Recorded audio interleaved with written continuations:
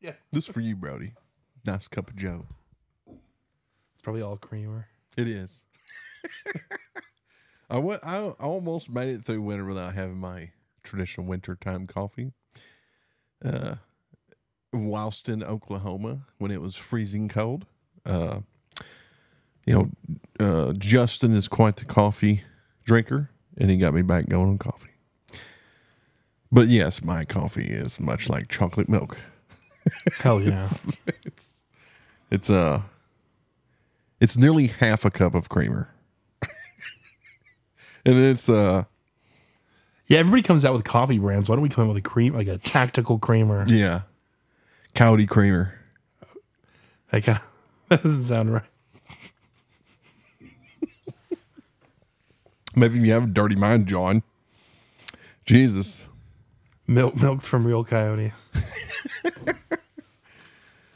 Today's podcast is brought to you by what's the, Warhammer. Yeah. War, uh, Th- War Thunder. And Ridge Wallet. Use your Ridge Wallet you to pay for in your War gold? Thunder. you invested in gold. yeah. With the current economic downturn going into two, two, 2024, instability in the marketplace, what's been a safe hedge against inflation? Uh, Even though it like really isn't, if you pull up any graph ever. Um, gold, gold used to be gold used to be the gold standard. Your money used to be backed by gold, but now it's backed by uh, nothing. Even though I guess it was Bitcoin. now it's backed by the uh, entire might of the U.S. armed military service and all of its capability. See how that worked out for the Gaddafi Acorn Gold or any of those other brands. Uh. what are the stupid shit are people hawking these days? That's the main ones. That Do you are- need to attach a personality to your coffee? Buy our tactical coffee. it's like coffee, but tactical. it's got a tactical name. Yeah. For your otherwise meaningless, boring cubicle. Like you go, go to work every day to get berated by a boss that you could probably physically overtake, and you just drink your tactical coffee to keep you from putting a, gun in your mouth and ending it all. But, at least I have my tactical coffee. Tactical coffee brand. It's roasted. They always say that. It's ro- Of course I would, it is. I would hope it would That's be roasted. how you. What, are we talking about here? oh boy. Uh, we're uh, we're actually not sponsored by any of that. yeah, no, And- we're just making this all up. That's probably why we'll never be sponsored by anything. But be sure and check out allymunitions.com or if you're in Midland, I still haven't made the sign. Yeah, it's fine. Midland. LA Outdoors, Midland. Go by Texas. outdoors. A lot of cool stuff happening over there. Any any special announcements? Any sales going on right now, John? Uh, sales. No, we'll be camo. will be going on sale soon, like February ish. That's end of the month today. So Yeah. Next Yeah, month, that's February. yeah, one one day away technically. Um, no, no sales. We just got some cool in like KUHL. If anybody's familiar, obviously all the new hot shit rolling in from all the different companies. Yep. Well, we have lots of ammo available right now. So if you're looking for ammo, we have it. Lots of 20 uh, Predator Hunters, lots of 2250, 243. All that stuff's in stock. 22 ARC. 22 ARC has officially arrived, which we'll probably do a 12 minute talk on my first 22 ARC. I officially have one built. Nice. We'll, we'll save that for 12. Everybody always wants to see the guns. Uh, this podcast, we're gonna we're gonna talk about the trials and tribulations of my most recent hunting trip to uh, Oklahoma, which was was freaking fun as shit. Me, that I said a cuss word. I, I can't I can't not do it. Go to hell. uh. So I mean, there's okay. So I'm gonna like basically break like it's like a hunting wrap up. There's there's one particular stand that made the entire trip. Out of you know, so anytime I go to Oklahoma, I try to uh, section off plenty of time because you're gonna have bad weather. You're gonna have days where they're just not happening. I'm not hunting a contest. I'm going down there to film, have a good time. So I block off at least like five days. Because, like, again, like I said, it's going to be, you're going to have wind days, no doubt, because where we're at, it's very open. You're going to have days where it's slow. So I always give myself plenty of time. And, you know, that's the first little tip I'm going to give you guys is, especially if you're, you know, saving up to go on a hunting trip or planning a hunting trip somewhere, give yourself plenty of time, especially for coyote hunting. Because, like, I was thinking about this the other day. Like, how awful would it have been if we're just like, we got two days to make this happen? We got two days to try and get some footage. Well, you know, that's how a lot of a lot of people's trips normally go. It's like they have the weekend. Essentially, they have like Friday afternoon, Saturday, and then they have to drive back on Sunday. If you're planning like a a, a trip, be sure and give yourself enough time. Because I mean, we were let's see. I got out there uh, Monday night, and I came home Sunday morning. So obviously we didn't hunt Monday, we didn't hunt Sunday. So it's Tuesday through Friday essentially. Of those days, we had one full day that was hot and happening, and then like a like a quarter of a day that was hot and happening. Rest time was we had two days that were just dog crap because of wind. Like it was just awful. And then, you know, it is coyote hunting. Like it, that said, we we put a lot of coyotes on film. Uh, I can't wait till these some of these videos come out, which will be on the other YouTube channel. Uh, Fitzy will roll in like the uh, teasers. If you if you follow the podcast YouTube channel, Fitzy as we get them, Fitzy will roll in like the teasers at the end of the podcast. Uh, he did on the last podcast actually. Hey, you guys are set on a ton of footage, right? Yes. So okay, currently we have a decoy dog video that'll probably come out this week. Now, we've talked about this, I think, before, but I'm just going to go ahead and say it again because I don't remember where we talked about it. so, the Texas Predator Hunting YouTube channel, not the Texas Predator Hunting podcast. There's a Texas Predator Hunting YouTube channel. And you'll see, like, I, I answer some questions in the comments. You'll see where I comment from. Is in the middle of a revamp, like I've been saying, like 2024, the year. We're gonna we're gonna do some more stuff over there. so a lot of times bench top, like there's gonna be like different segments. There's gonna be bench top segments on the range segments, and then there's gonna be pr- like premium hunting videos. What we're gonna call it, or so- it's something along those lines. I don't know. So a lot of times the on the bench segments are gonna be like we'll we'll bring something on that we can talk about, as well as show some on the podcast because you got you got to remember you do YouTube viewers. This is a podcast. it's it's primarily like about the audio. like if if I'm gonna I get a new gun, we'll talk about it here, and then I'll I'll do extended stuff with it over on the YouTube channel. And then the range stuff, we're gonna get more into long range stuff, long range shooting stuff on the range segments, and also some other stuff. Uh, and then there's gonna be segments called on the ranch. That'll be more of like the whitetail management side of things. And again, we'll talk about certain things in here, and then we'll, you know, you go follow that channel as well. And that's where you'll get to see more hands on stuff. Like it's going to be visually, you know, the more visual things, I guess, if you will. But, anyways, so the hunting videos are literally going to be like as we get time or as I go on hunts and stuff like that. So right now we don't have like a set. Okay, we're gonna we're gonna release X amount of hunting videos a year uh, on top of this other content. Like it's just to be like as we can. But right now, we have a, a really good decoy dogging video we're sitting on. We have uh, three or four episodes from the Oklahoma hunt that we're uh, we're to release. I don't know when. we have the antelope hunt, pronghorn antelope hunt. We have Tim Spike's trip out here, which will be some pig hunting footage probably some dove hunting footage and some cow hunting footage. Uh, let's see, pronghorn. Yeah, I think that's it. I think I'm missing one. I don't remember.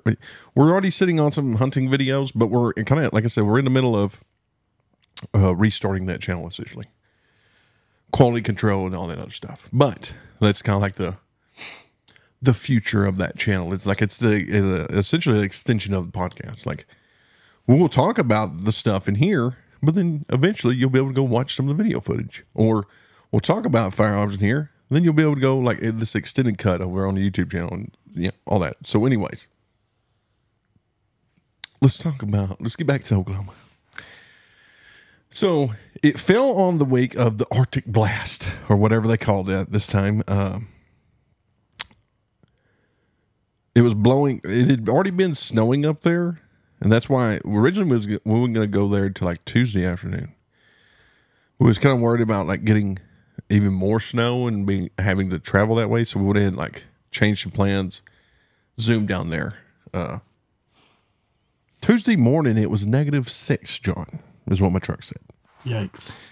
But Tuesday morning, uh, we kind of just rode around, looked at all the spots we're going to hit, and put together like a game plan. Like we're to hit this this day, this that day, like blah blah. blah.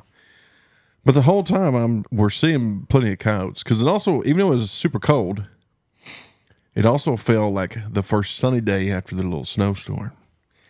And the whole time, I'm just like, I know it's cold and miserable, and we need to do this like pre. I'm like, we should be hunting right now.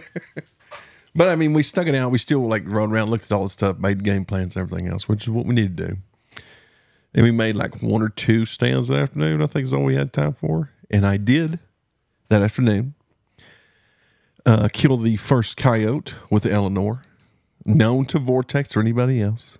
Eleanor has now taken uh, the first whitetail and the first coyote with Eleanor.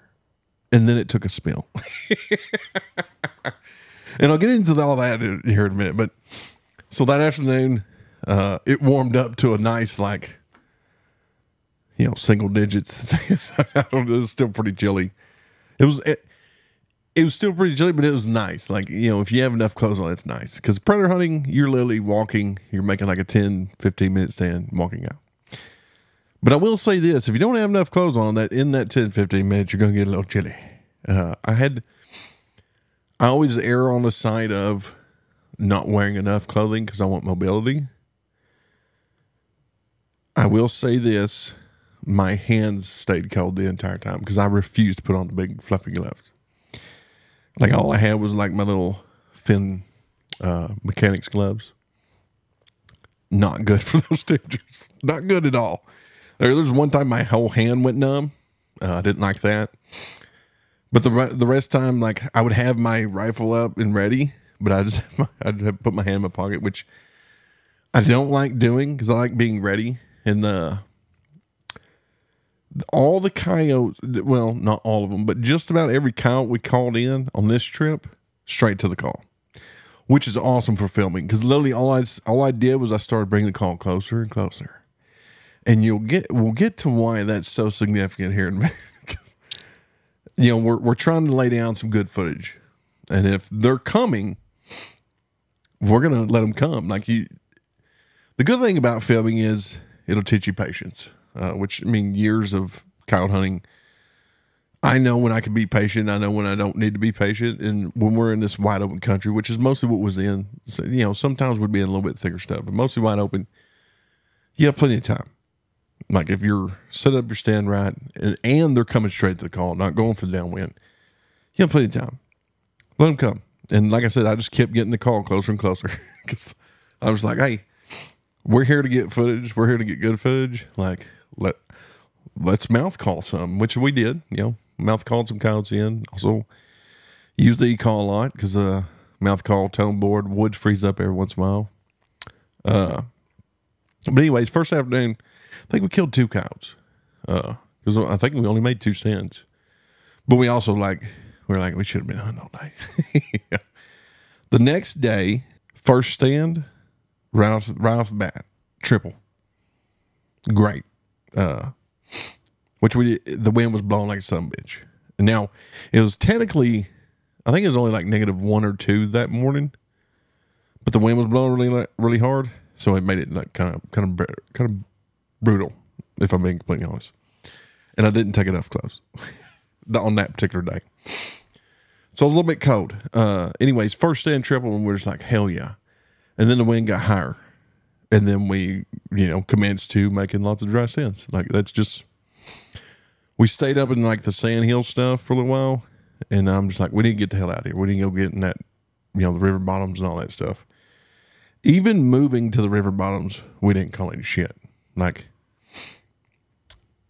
uh, we had several dry stands um, down on the river bottoms. We finally had a good one.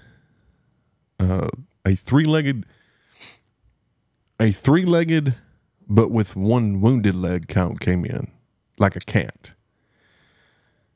And uh, so we killed four that day. And the only reason why I know that is because you know we killed a triple and then we killed one.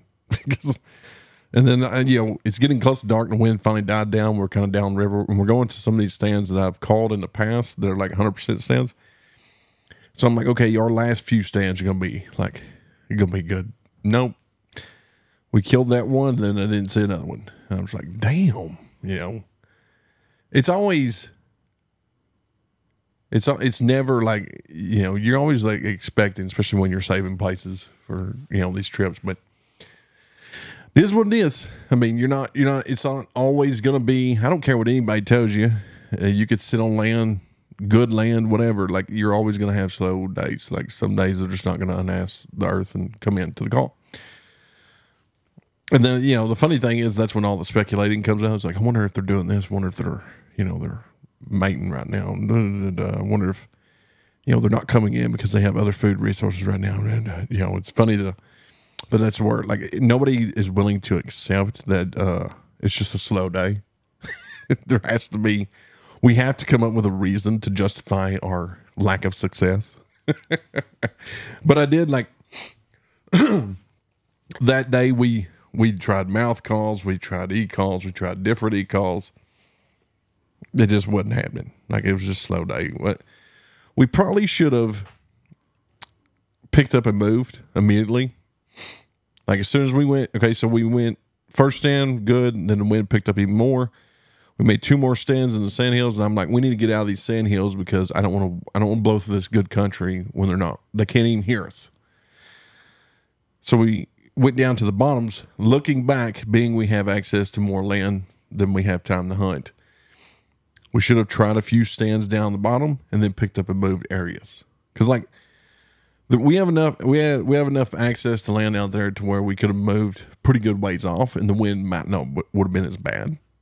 But it was kind of a drive to get to this furthest place, so we kind of just stayed there. I wish we wouldn't have done that. You know, looking back, we should have just picked up and move. And I harp on that for contest hunters. It's like have plenty of land in plenty of areas so you could potentially get out of the wind. And we, we should have done that. Like it was, it was just windy as shit. We shouldn't have even like been messing with it, but whatever. Uh, if they're not coming, they're not coming. So, but we stuck it out because it was already over there. We're committed. So, you know, but I know that I know that day we killed four coyotes. Now the rest of the trip, I have no idea how many we killed. I haven't even counted the coyotes in the photo we took. I don't care I had a great time. Uh, I you know, I I put out a photo last week or whatever of the couch, whatever. But anyways, so the next day, uh, we finally got. It's still kind of breezy, but we finally had a good day. And I may have those two days mixed up. Like it might have been our good day might have been the second day, and our bad day might have win day might have been the third day, or vice versa. I don't know. It doesn't matter. But we had a good day, um, and we weren't. Uh, I'm gonna say we had like one dry stand on a good day, but we weren't. You know, we are filming. There is, we're, and we're not traditional filming where. Newsflash here. Here's a little something probably people probably don't want us to tell. Uh, when you watch these hunting videos, any of them, cow, deer, anything. You, if you watch it and you actually think about it, a lot of the stuff you're seeing is shot after the fact. So when it shows the predator hunter, he's like getting ready and he's flicking his gun off safety, and you're seeing all that shit. Unless they're running two cameramen and they're filming it in real time, which hardly any of them are, even if they are running two cameramen, all that's filmed after the fact. It's all bullshit. now, you're seeing the the footage of the animal, like they're recording that, but a lot of times what they do when they have success, they'll go back and shoot what's known as B roll which is literally them like, you, you know, you ever watch them where it's just like, just go over there. then, then, you know, they're doing some moving and they're shows them flicking their gun off safety because even if they don't run at safety, which newsflash, most, a lot of predator hunters click their safety off as soon as they sit down. I'm just telling you how it is. Uh, even if they do that, they'll be sure to show that old safety click because it's the, just the thing that they do, you know and like all the other bullshit. It's all acting. It's all bullshit. I'm not gonna say all of it. There's probably some people that are out there that are true to what's really happening, or if they're they're running like a GoPro showing that footage of what's happening. Like there is circumstances where you're seeing like real life shit, but a lot of stuff, it's all fake, except for the animal getting shot. But anyways, we're not doing that. Uh, we got one camera guy. We're going out making stands. We're shooting B roll in between. We're also we're also doing uh if it's slow, we're doing more product shots, like for munitions, and stuff like that. If it's busy, we're just, you know, we're not we're not running back and forth in stands what I would normally do if it's it's happening. Like that day there, I think we had one dry stand. I'm gonna throw out a guess of we probably killed ten cows. Anyway, I don't know.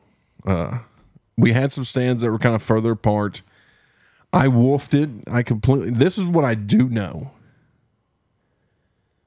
I missed a coyote straight up, flat out missed it without no excuses. Beautiful stand, good setup, and this coyote like he was gonna try and go for the win instead of following my my perfectly laid out scenario for him, which it would have been follow the draw all the way down, walk across a pond dam, and get straight to the sound source, which is the call. He decided to go out in the clear, wide open, which is what they don't like to do, to get a little bit of a cut on the wind, but still it dropped him within 60, 70 yards. I wasn't rushed.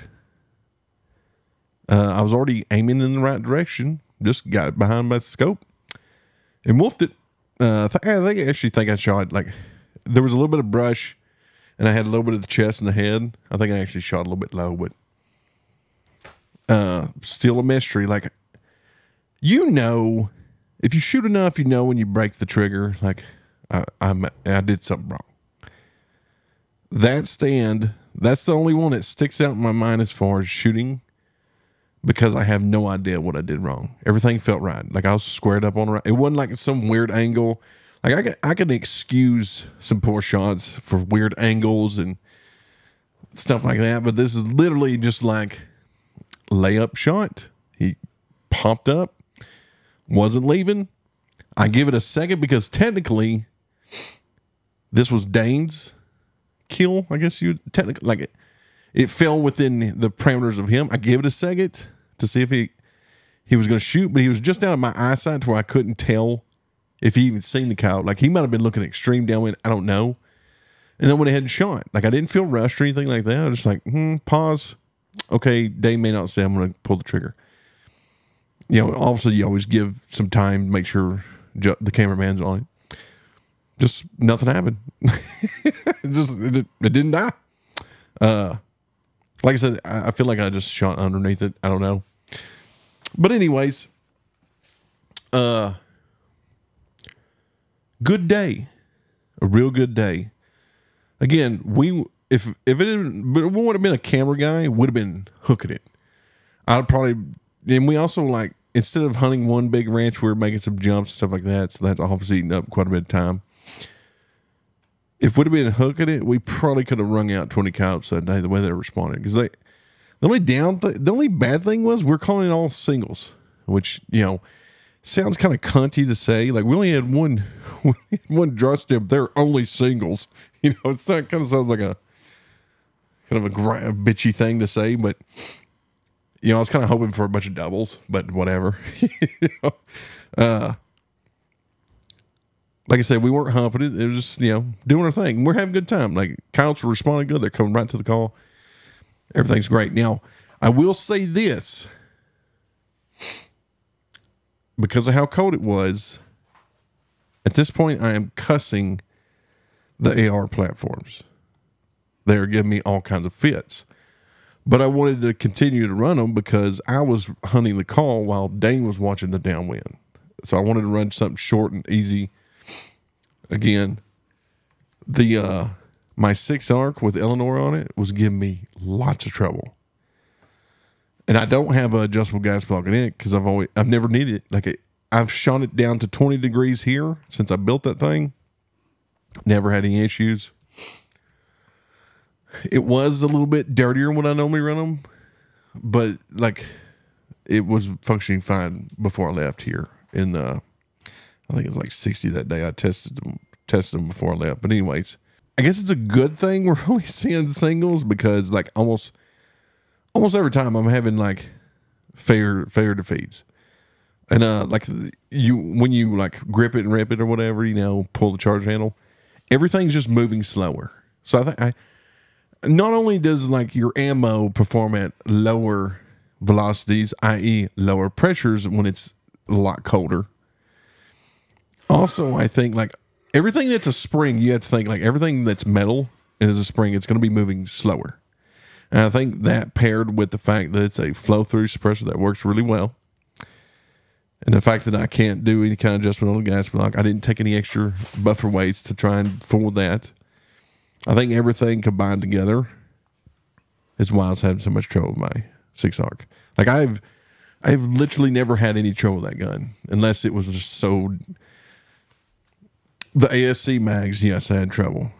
Or if I let it get so dirty, uh, which shouldn't have been an issue, but it was a little bit than what it normally was. But anyways, lots of trouble with AR platforms on this trip. Now, I was uh doing some final testing on 224 Valkyrie Coyote And it has a diligent defense, wolf wolf hunter. So a standard suppressor, if you will, like no, it's not a uh, flow through suppressor. So a lot more back pressure. Even though I have that thing tuned really well, because it does have adjustable gas block. I think I only had like one or two issues out of the gun. No problem. Which is also is also spotless clean. Like I cleaned it and then just shot like five shots to confirm before I left. But anyways, so went to running it.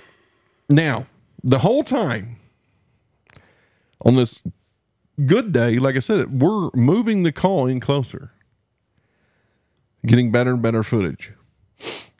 And I tell Justin, I want nothing more than not only now that I've killed some coyotes with Eleanor, like at this point, I've killed all the other coyotes with Eleanor. I'm like, now I want to shoot one with red dot. Like I want it close enough. I want to shoot one with red dot. Well, the stand prior to that, Dane shoots a coyote. And it's like Terminator coyote. He shoots it with a six Creed, blows a massive hole through it, like right through the, right behind the shoulder. I think I don't remember now.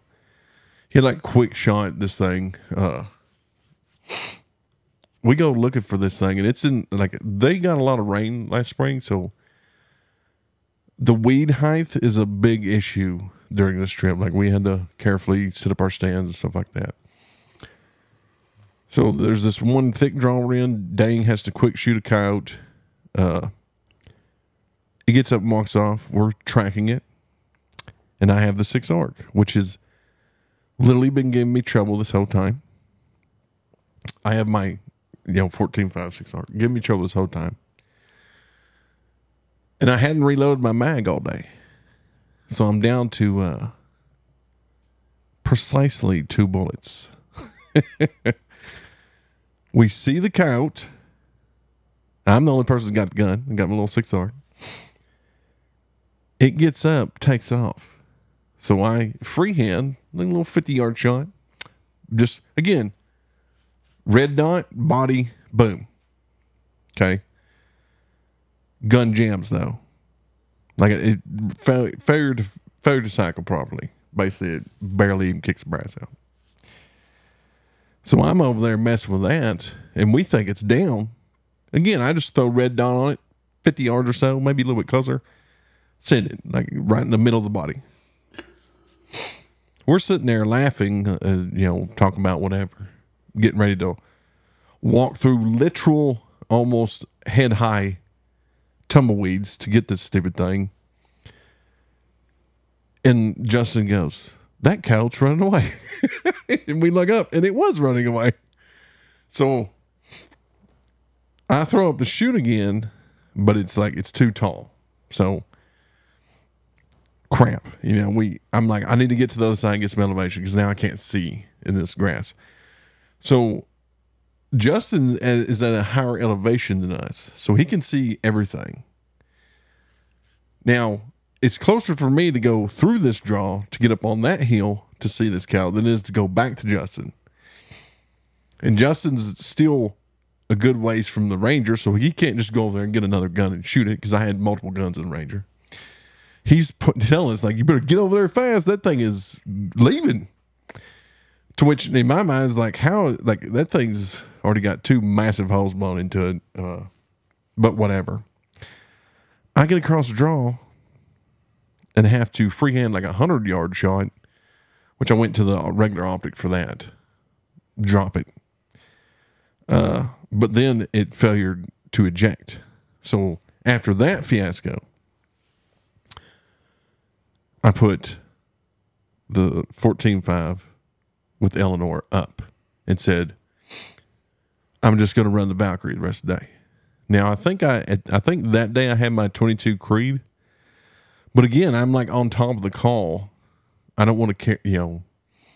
Literally, almost everything I'm shooting is on two, three, four X. Like it's nothing. Like it's 40, 60 yard shots. I mean, tops. So, anyways, I say that, and we're literally laughing about how tough this count is, and we're and we're like going to our next stand.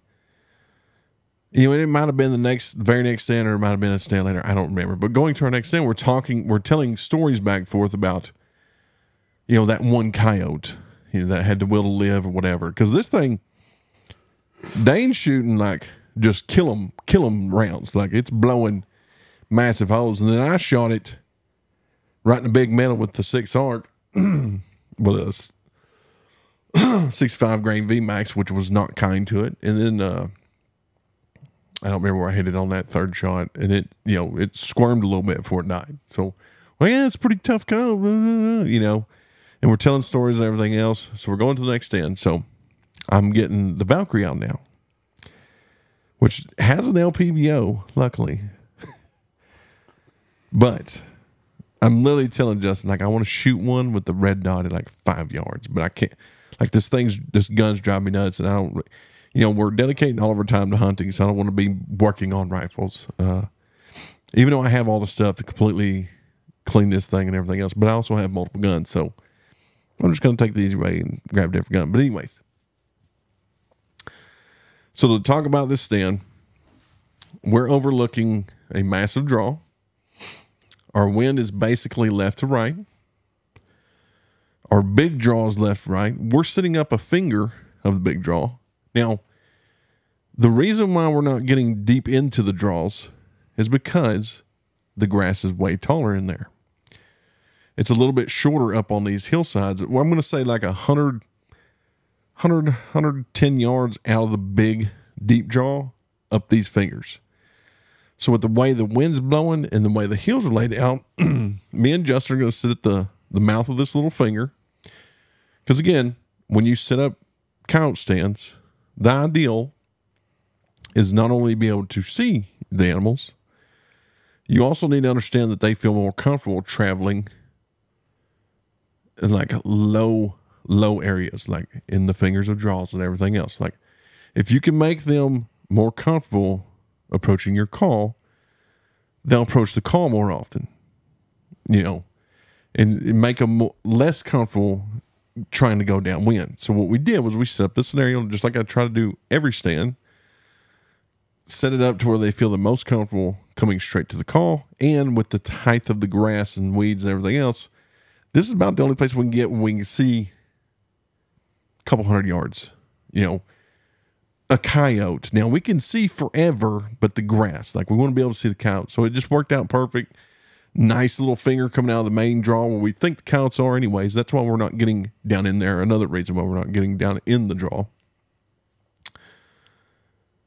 Dane is sitting to our downwind about 50 yards, and he's covering the extreme downwind. He has a great spot, good setup. Calls on for literally like a minute. And again, you set up these scenarios, giving them the perfect route to come into the call and feel more comfortable. But this particular day, and you'll have days like this, the counts were uh, hungry, 100% hungry. Like they're coming in fast, they're coming in hard straight to the call. Now, we weren't running a decoy. Uh, basically, I would keep the call off the ground, but not so high they could see it because I want them to be looking for where the sound source is coming from. And I've talked about decoys before, but we'll probably do a 12 minute talk where I go more specifically about decoys because it's been coming up a lot here lately. But, anyways, we weren't running a decoy, we were running whatever rabbit prey distress on the lucky duck. It's coming straight in, and it's not coming through the fingers, it's coming straight across the heel, which is great good footage. We have, you know, we watched this thing come in from like 100, 150 yards. And I, you know, it's tall grass, so he's hopping a little bit and everything else, putting on a good show for the camera. And at this particular stand, because of how the the layout is perfect, uh, you know, how I like it, the call is five yards in front of us, no more than seven. I'm sitting on the ground because up on the higher parts of the hill, there's not like we're not on the top of the hill, which I don't recommend you doing. You don't want to get skylined. There's not a lot of cover, so I'm sitting on the ground next to a yucca bush. Justin is on a little stool, so he can be up a little bit higher than me, backed up against a, a bigger yucca bush. But this coyote, I'm pretty sure it wouldn't matter what we're sitting on. He wasn't looking, even though we're that close, he's not looking nowhere near us. He's looking directly towards the sound source, which this stand again, I have my little column tripod and it's just basically plopped right in the middle of a yucca bush. So it's about a foot and a half off the ground. He's coming through some taller stuff, so that's why he's jumping. He's trying to see. And I noticed the closer he gets, the faster he's running. And I'm like, oh, this one's going to attack the call. Like, for sure. This one's going to tackle the call. It's literally going to probably just maul it. So I'm excited. And I'm not even like I'm obviously got my rifle on ready, but I'm not on scope. Because again, we can watch him leave after he attacks the call. So there's no, and we're trying to get good footage up, up close, good footage. So there's no need to be like on the scope. So I'm just watching. So as it gets closer, it crosses our little finger that we're sitting on the edge of. Now that's at that point it's about 15 yards out. I decide that I no longer want it to attack the car and leave. I want to just stop it right there. So I don't do woohoo, uh, woohoo or woo, you know, whatever, screaming. Rarely do I do that, and it's usually last result, like a last ditch effort. I do something more subtle, and a lot of times it's just a growl, just, you know, just something to get them to try and stop. It didn't matter. This cow kept coming. So right before it was on top of the call, I just shoot it. Now keep in mind, this is uh no more than five to seven yards away, and uh, I again this I just get my scope, shoot. Unbeknownst to me, I uh shot a little bit low, and what had happened is it went through the sh- the bottom part of the shoulder, and it blew out its uh, chest. Okay, pretty massive wound because that's these rounds. The Valkyrie Zero is very fur friendly, but when you hit like a, you start off by hitting a bone, and then like the edge of the chest bone, it's gonna get nasty. Like it's not a good shot for fur friendliness. It blows it out and this cow rears up and starts kayaking. The most beautiful kaya you've ever heard. Like, I mean, it, it doesn't get more perfect. Now, anybody who's been predator hunting long enough knows. Now, I'm a bit of a tender soul as it pertains to animals. I don't like them to suffer, but I'll also I'll pause for a minute if they're going to call in more cows or fox as well. So instead of immediately shooting it again, it's like flopping. It rears up, starts kayaking, and just goes a flopping everywhere. I immediately just lower the gun and start looking everywhere. Like I'm looking back out in the draw and everything. Like I'm just completely. This is down here. I'm looking out there. Okay, I'm not even focused on the coyote anymore. Now Justin, the cameraman, is is trained in the ways of. He comes from like big TV production where you don't show any of that, so he hits stop. Epic, epic failure from what's about to happen. And the only thing I can think of, like, I'll just I'll just keep telling the story. So again, I'm explaining this like it happened uh, for a long time, but it literally it went really fast. So okay, it starts kayaking. I immediately go looking. I'm not even focused on the cow because it like it went down to the ground, but it's still flopping a little bit, and it's kayaking. So I'm looking. Justin hit stop. He did get like all this shit happening, and you'll eventually see that footage. The, up to the shot because he, like I said, he hit stop after it went to kayaking. In my periphery, at this point, I see something to my hard left, which is way down the draw. My attention goes hard left. Rifle still facing forward, but my attention's hard left. In my periphery, I see a flash of fur. And what that is, is it's the goddamn coyote about to jump over my right foot. And guess who's just to the right of me, right behind me?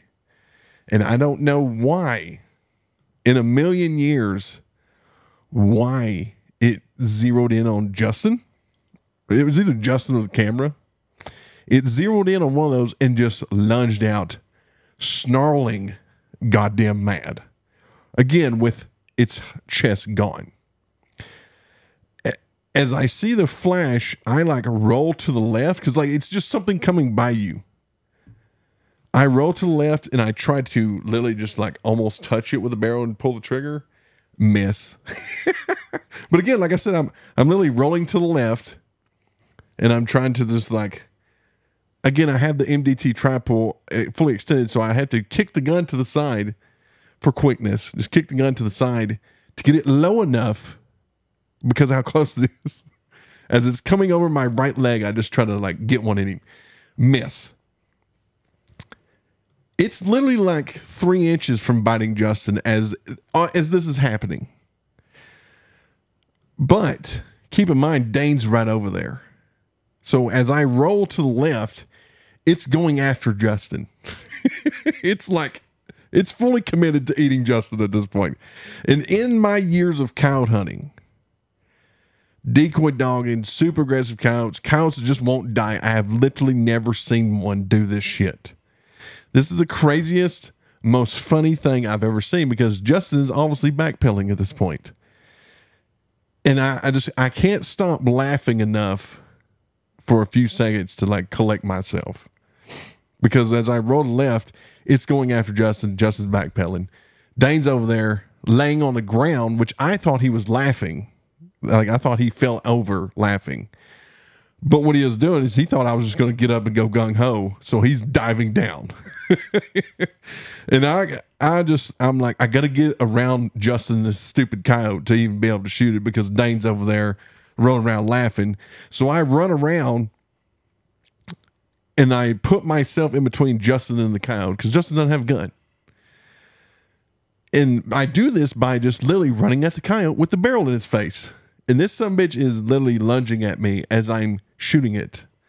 I shot it two more times at basically point blank. Now, what I was trying to accomplish was because the whole time I'm like, one of these suckers is recording this. Like Dane has already got his phone out because Dane's a Snapchatter. And also, I'm like, I put my I put myself between Justin and the cow. Justin's obviously recording this. I mean, this is prime time gold shit. This cow literally lunging at me, biting, snarling, and everything else. And what I'm trying to have happen so there's no accidents is I'm trying to literally catch it with its mouth open and just shove the suppressor in its mouth. But every time I do that, it, would just like it'd back off a little bit. But so I just, you know, you're not aiming at this point. Uh, you're just literally point and shoot. I point and shoot so that somebody's two more times, which again, these rounds, they're not like super hot roddy, but they're spicy. And they are varmint bullets. And when you're talking about point blank range, they are doing some damage. They're no longer uh, fur friendly. uh, so I shot it two more times, just looking down the barrel, and it finally give up. Stopped trying to bite me. And when I walked up to it, it was still like it, it, didn't have hardly any life left in it, and it was still trying to raise its head up to try and bark and growl. And I ended it, and like I literally put the special against its head, pulled the trigger. But this thing looked like a gosh dang cheese grater. Like it was pretty bad. And you know, prior to this, the toughest coyote I'd ever seen was one I shot a lot with a shotgun one time with lots and lots of buckshot. Like it, it did legitimately look like a cheese grater and just would not die. This coyote, for sure, takes the cake. Like it is the toughest coyote I've ever seen. I don't know what like I don't know what made it focus on Justin other than p- possibly the camera lens hitting just right. I don't know. And I, I guess because we are literally so close. You know, if you coyote hunt long enough, you've seen this. You shoot coyote, shoot a little bit far back. A lot of times it'll go biting at something. Like it, I, what I think it is, is it thinks something stung it or bit it so that's why, like, sometimes cows will literally die with their foot in their mouth or they're biting their ass and stuff like that. I think, it, like, in their brain, like, something, ow, something's stinging me. I got to get it off. I guess this one was just like, that camera did this to me. I, I don't know. It was, it was by far the funniest shit I've ever witnessed. This cow trying to eat Justin. Uh, so much so, like if I would have been laughing so hard, I probably could have ended it very quick. like I'm literally trying to laugh, but also not get eaten myself because this bitch come at me twice, like lunged. We tangoed twice, which he got immediately got a bullet put in him. But I don't know. That was some crazy shit. And then I, I finally, I'm just, you know, after it's dead for for real, for real. Like I nudged it one more time to make sure because I'm like, this is the Terminator of all coyotes. I look at Dane. He's laughing hysterically. And I said, Please tell me you recorded that with your phone. He said, I don't have my phone. I turn around and look at Justin. Please tell me you recorded this. I hit stop when it reared up and started kayaking. I said, Both of you are fired. but by far the funniest shit I've ever seen. like, I'm sitting here thinking, like, had I, you know, had I been incompetent hunter or scared of the coyote, what like what would have happened? At some point, it would have bled out and died because, like I said, it had a massive chunk of its chest gone. Obviously, not enough to get into the heart, but you know, we're talking about a massive wound here. What would have happened? Like, Justin didn't have a gun. Like, but I, did tell Justin, I'm like, I don't care if a cow is eating my leg off. You record that shit. I said, but don't ever expect to probably see that ever again. I said, because I've been predator hunting for years. I've seen wounded animals do a lot of wild shit. I've seen them attack calls and decoy season. It shit gets western, but I've literally never once saw that happen. And I've had cows at the end of my shotgun barrel. Uh, that was some wild shit. It was hilarious. Nobody recorded. So after that stand, Justin affixed a uh, GoPro to his camera just in case. Which we did get some cool footage of a raccoon attacking the call and a coyote getting shot through that GoPro. Well, there, there was some more GoPro footage as well of coyotes on top the call, but nothing attacking us again. Unfortunately, uh, that was that was crazy. And like I said, I'm just um t- to the point to where I'm pr- just in case anything remotely ever happens like that. A GoPro will probably be on me at all times when we're calling them in that close. Like it's probably going to be a must now. But anyways, moving on. That was like that was, you know, we I think we laughed for another hour and a half about that shit. Uh, and then uh, made jokes, you know, uh, which I, I don't think Justin appreciated. I was like, I guess we see where you fall on fight or flight. He's like, I'm just getting out of the way. I wasn't running. I said, You had a camera tripod. I said, No, I said, no shit. I don't care if I'm getting mauled. Leave it recording. Don't ever do that again. But anyways, uh moving on. Uh again, that day was great. Like we went on, made some more stands, killed more coyotes. Uh the next day, I can't remember. I think we ended up getting shut down by wind a little early. Had some. It it wasn't like dynamite, but it was you know it was like call one in, don't call one in. It was hitting smaller spots. There was lots of jumping around. wasn't a very good day. Wind was kind of high. Uh, Saturday, our last day, we was hoping it was going to be sunny again, which we was happy about. We was hoping for almost a miracle because they're calling for some pretty high winds. The miracle didn't happen, but we played it smarter. So our first stand was close to the river bottom, called it a count, and then that's when I found out that my 16 inch six ARC was not right. So on this trip, I always take plenty of guns, backup guns. If I'm taking guns for other people, they will have a backup gun as well. I myself will always have at least one backup gun, but this particular trip, I didn't know what was going to get into. I didn't know if it was going to be night hunting with thermals and stuff. I didn't know if it was only with daytime. And I also had a couple ammos that were coming out with in 2025 that I'm doing some testing with. So I had a, let's just say I had a bunch of guns with me. One of them was the 16 inch six ARC because I am testing a bolt gun only varmint round for six ARC, and it's spicy, and I was super excited.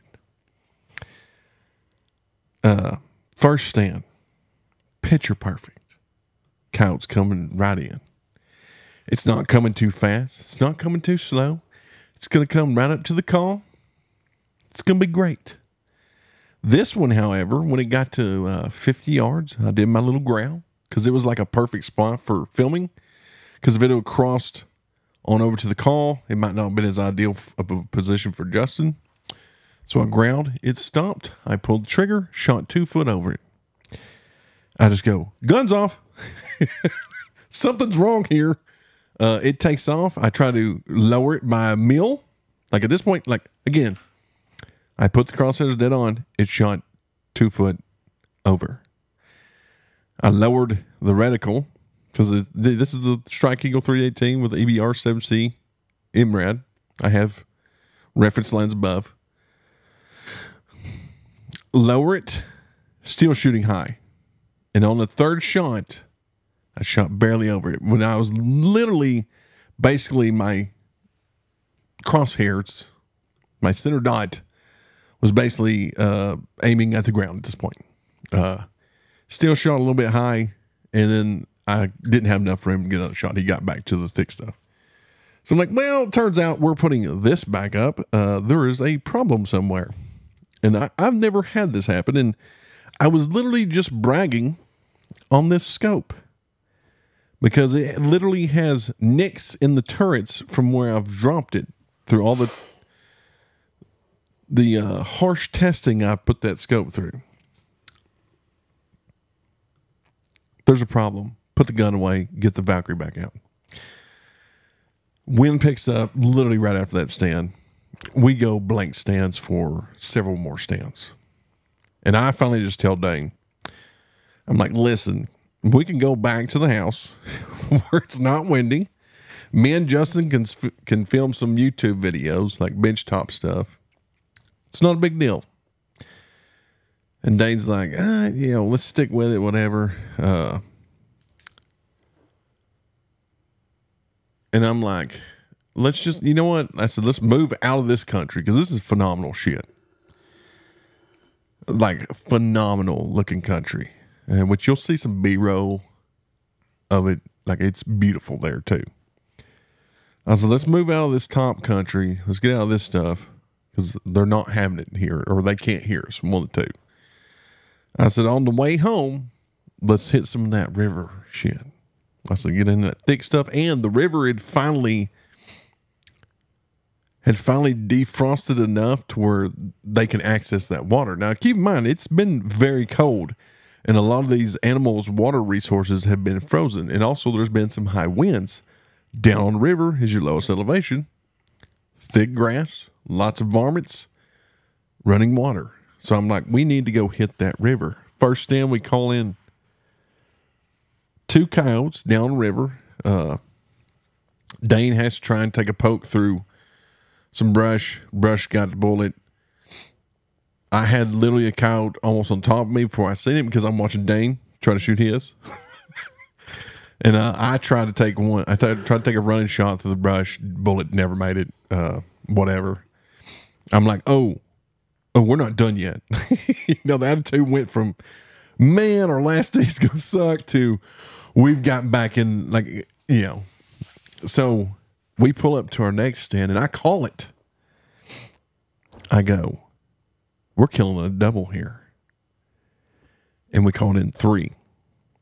Uh, I killed mine. Well, you can ask Dane about his too. I'm just saying. now, I could have killed the first one, but I'd uh, I'd still bet you money, and I won't believe them until Justin shows me the footage. The first one looked like a gray fox, so I just didn't even put I just put my gun down. Uh, then Dane tried to shoot it through the grass, no go. Uh, the next one that came in was obviously a cow. I let it run up to the call, and then start easing back out. I shot it on the run. And then Dane tried a uh, downrange one through the brush. I don't know if he hit it. I don't, I don't even remember now. Uh, so I'm like, hell yes. We have arrived. Dane, keep us on this river. We're to cl- close out this day with some good good action, uh, good up close action. Now, at this point, I had cleaned up my six ARC. It had warmed up enough to where it was running. Well, well, John, on that stand where I caught in three, it jammed again. I get failure to feed. And I think what had happened is, I think the spring broke inside the magazine because it seemed like a magazine situation. Like I sit there and played with it while we are getting ready to move the next stand seemed like a magazine situation. And if because of the events I'm about to tell you that happened next after that stand, I lost that magazine. So now I can't confirm what happened to it. But I will say this. I literally had a aluminum throw lever on an optic break during the cold weather. Like it was torqued to the proper spec. I'm a stickler for that. It just literally couldn't handle the cold. But anyways, and I'm curious, like that's what happened to that magazine or what the deal was. But anyways, we'll never know because I lost a free magazine. I'm like, Dane, let's go back to your house. I have my other 16 inch, the TPH six ARC. The Valkyrie's there too. No, no, I had the Valkyrie. I have the other 16 inch six arc. We'll get you set up on an AR because Dane's running this like super long barrel six Creed with a long suppressor. Like he's set up for open country, and he sees now, like especially on this stand, I'm like, I'm gonna get us in thick shit, but I'm gonna call everything in close. He sees now like he wants a shorter rifle. I'm like, let's go to your camp. Ain't that far away? Like we can see it. It's like a mile. If you cut through the river if you take the roads, it's a pretty good haul around there. But I'm like, let's go over there, readjust our equipment, get rid of some of these other this.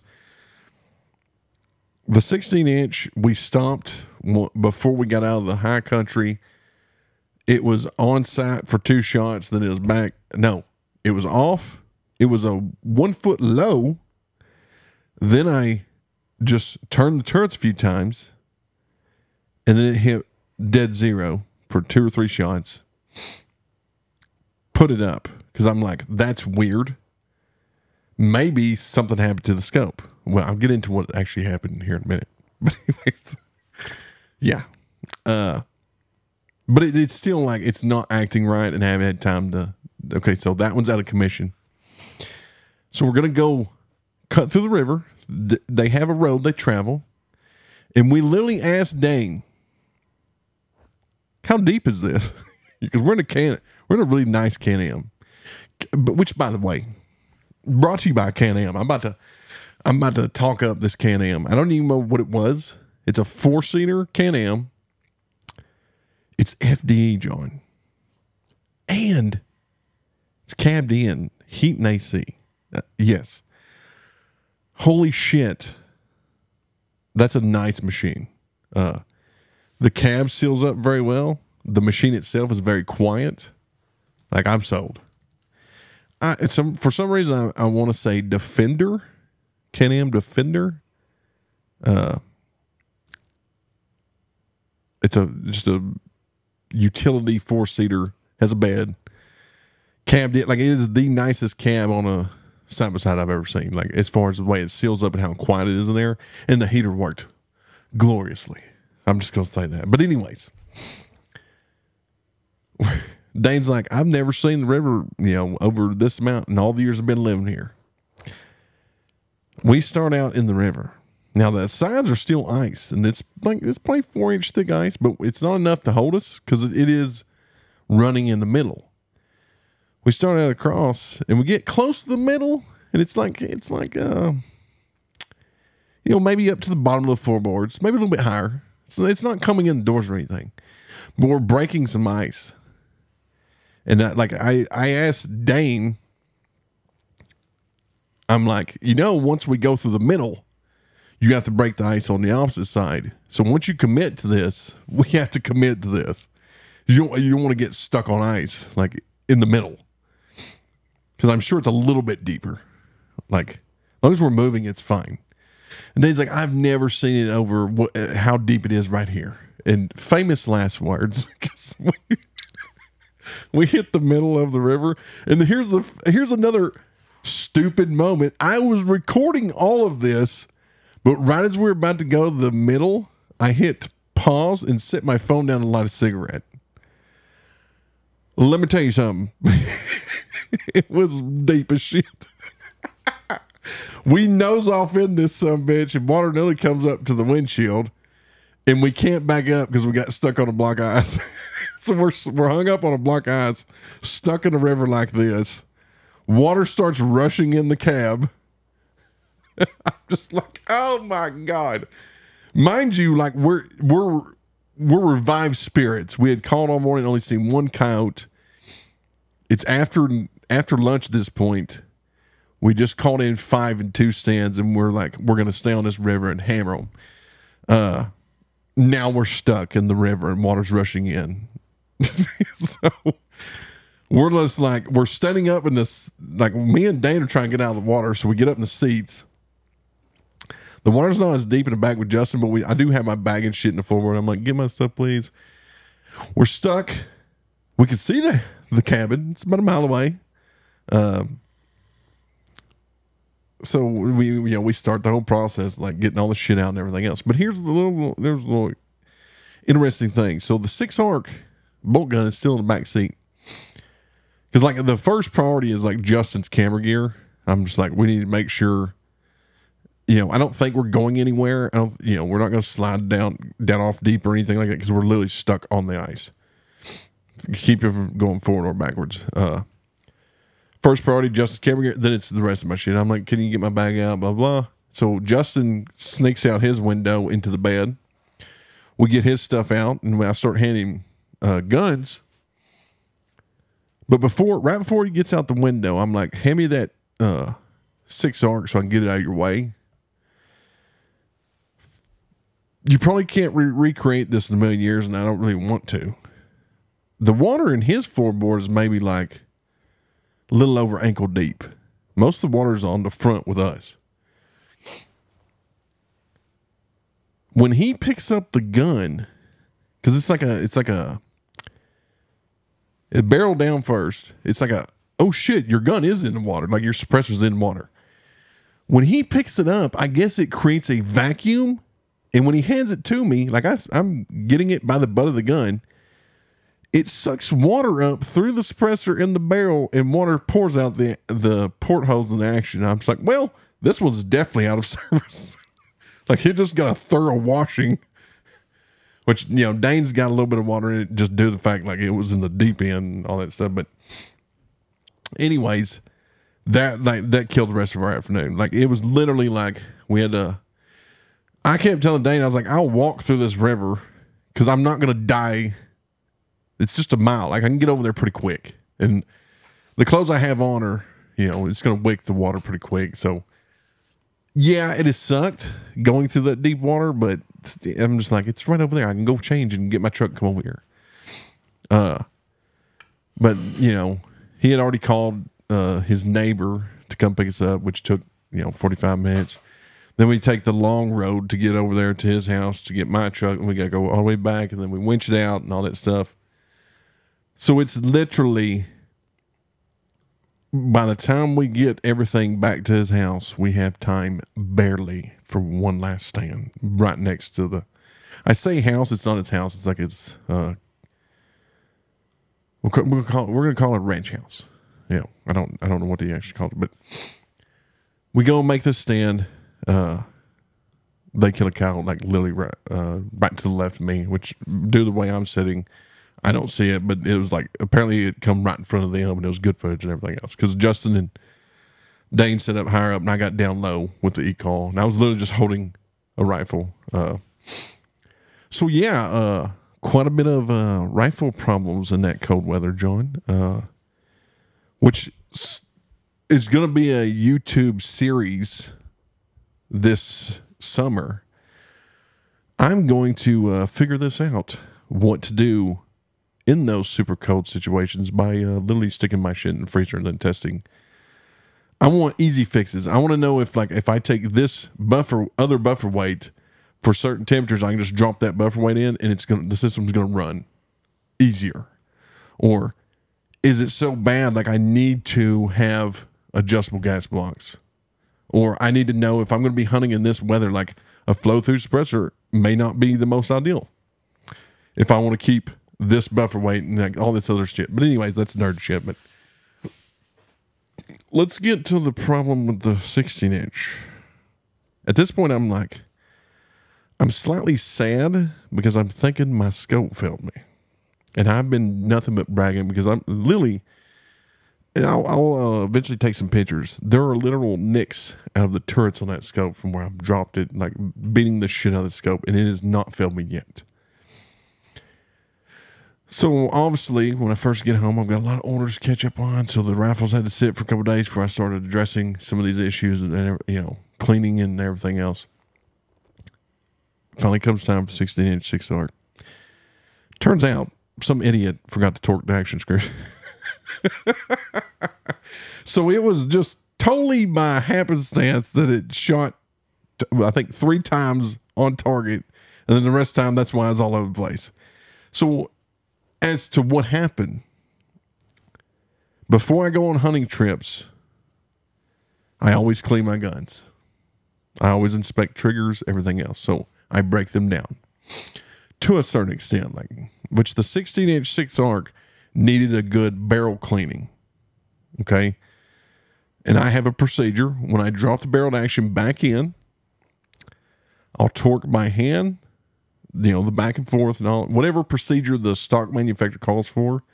And on the KRG Bravo, I don't recall offhand. That's why I keep notes. But it's one of the two. Like you start with one and you go the other, all that stuff. Time by hand, then I back off slightly, and then I hit it with the correct torque limiter.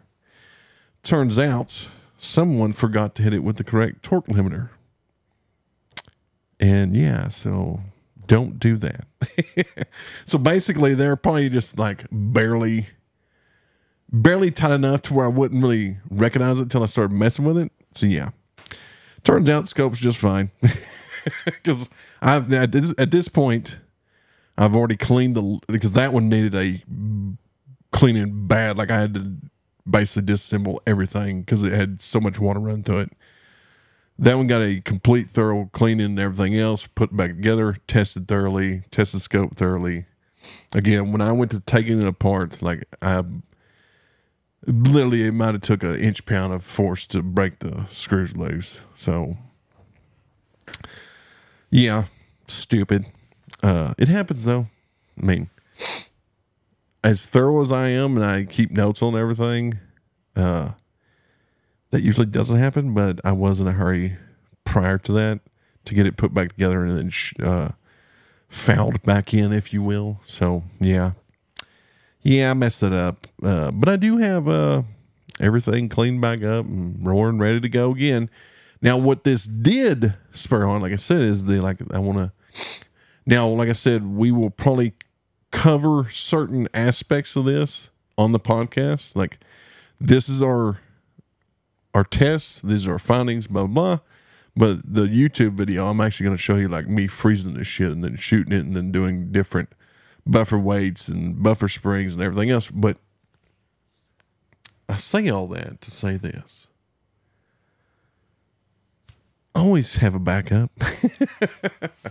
now keep in mind, like you don't have to carry as many guns as I do because literally, like, I want to be ready for any situation we might run into out there. Uh, I didn't have to take as many rifles as I did, but at bare minimum, I would have had at least two, probably three, because even though I have enough stuff, like I carry extra magazines, extra ammo, whatever the case may be, I have stuff to clean stuff with and everything else.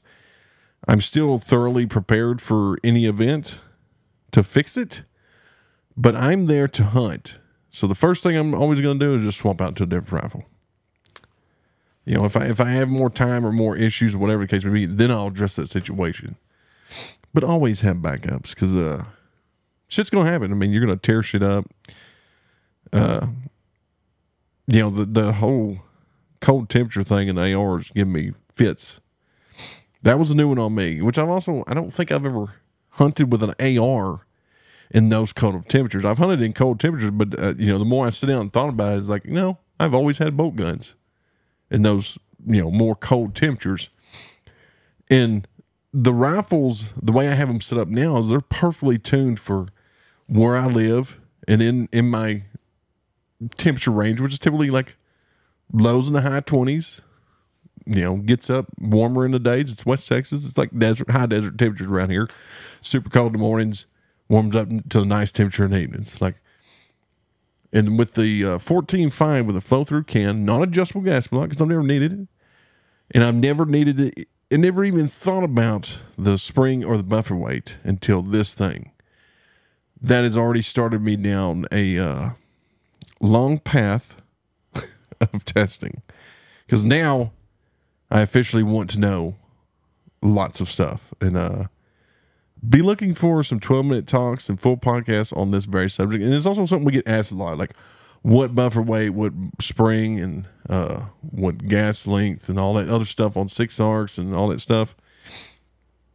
I'm collecting tons and tons of data, which I already had quite a bit on certain things, but I'm paying a lot closer attention to it and then doing some super in depth testing. I've already fired it up. I'm already collecting notes on that.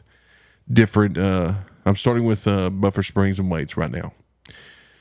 Be looking for a lot of content over that stuff this coming up this summer more more than likely when we'll start putting out that stuff because we are gonna.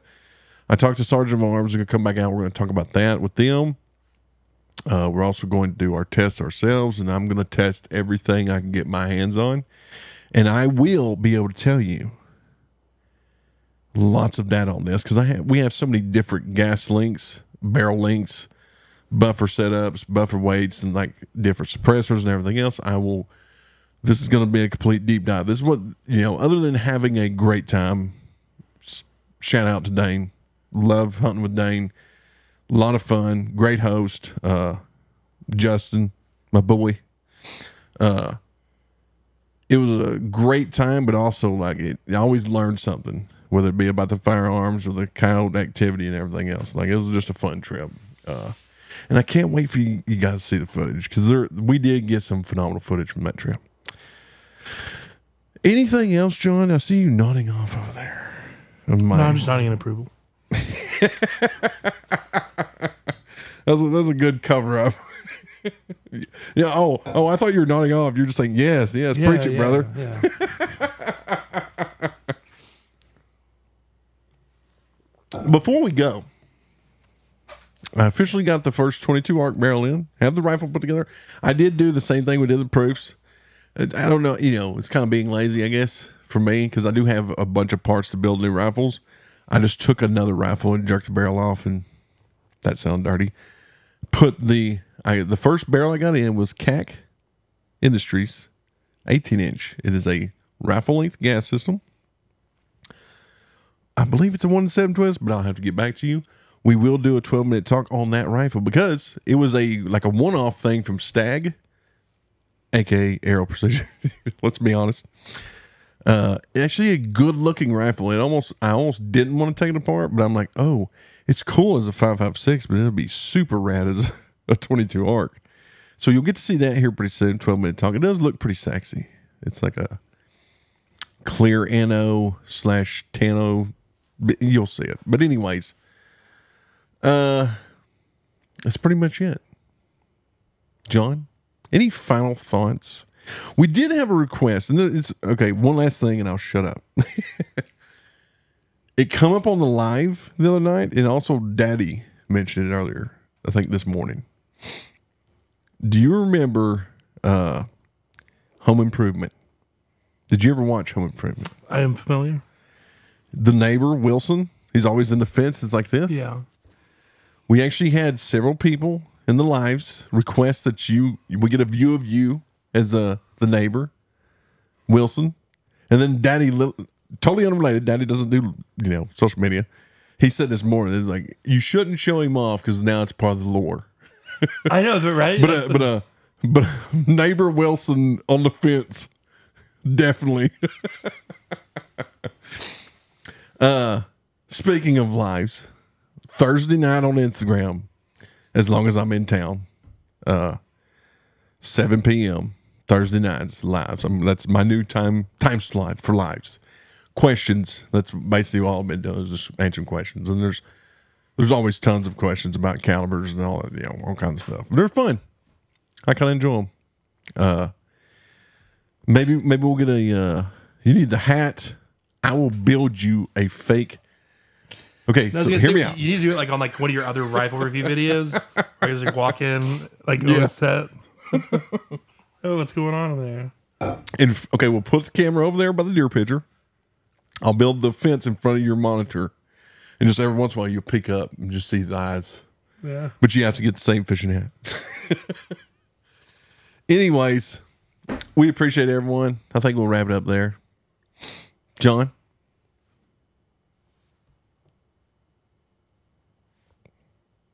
Cricket, cricket. well, we'll see you guys next time.